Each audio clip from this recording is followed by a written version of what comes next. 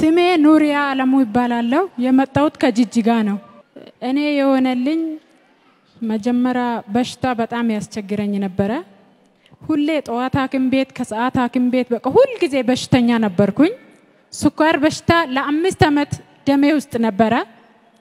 ከዛን ግንቦት ስድስት እና ሰባት የመካኖች ተመዝግቤ ከጅጅጋ እዚህ መጣውኝ። ከዛ እዚህ መጥቼ ነቢይ መስፍን እየጸለየ ነበረ። ካገባውም ሰባት ዓመቴ ነው። ልጅ የለኝም። በዛም እዚህ ጋር ነቢይ መስፍን እየጸለየ ዘጸአት በሚለው ርዕስ እየጸለየ ነበረ። ግንቦት ስድስትና ሰባት እዛች ጋር ቁጭ ብዬ ነበረ። መታወቂያችሁ ይቀየራል እያለ እሱ ሲያውጅ እኔ አሜን እያልኩ እየተቀበልኩ ነበር። አሜን እያልኩ እየተቀበልኩ ከዚህ ዘይትና ውሃ ተጸለየ ይዤ ሄድኩኝ። ይዤ እጄ ይህን ዘይትና ውሃ በጥብጬ ጠጣሁኝ። ከስኳር በሽታም ተፈወስኩ። አምስት ዓመት መርፌ የተጠቀምኩኝ ነበርኩ። ሰውነቴ እየተቃጠለ ጣፋጭ ነገር፣ ስኳር ነክ ነገር በአይኔ ካየሁ ራሱ ይታመም ነበረ። እዚህ ቤት የተጸለየው ዘይትና ውሃ ወስጄ እጄ ከስኳር በሽታም ተፈወስኩኝ። አሜን። ጭንገፋ ደግሞ ሁሌ ጭንገፋ ያስቸግረኝ ነበረ። ጭንገፋ በመጀመሪያ የአራት ወር የሶስት ወር የአምስት ወር እየጨነገፈ እያስቸገረኝ ለስንት ጊዜ?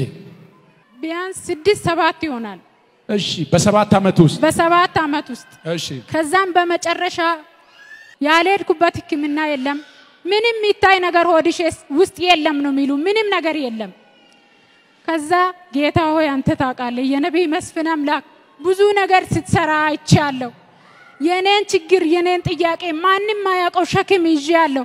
ለሐኪሞች የማይታይ ለሰዎች የማይታይ ይዣለሁ።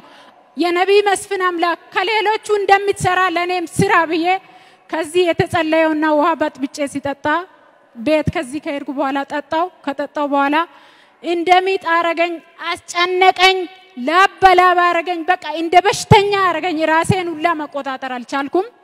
በቃ እግሬም እጄም በቃ ሊሞት መጨረሻ ደረጃ ደረስኩኝ። ከዛ እንደሚጥ አርጎ ሽንት ቤት ሲሄድ ሽንት ቤት ላይ ሰው አለ። ሽንት ቤት መቆም አልቻልኩም። ሰው እስከሚሞጣ መጠበቅ አልቻልኩም። ቤት መጣውና በመስታጠቢያ ተቀመጡ።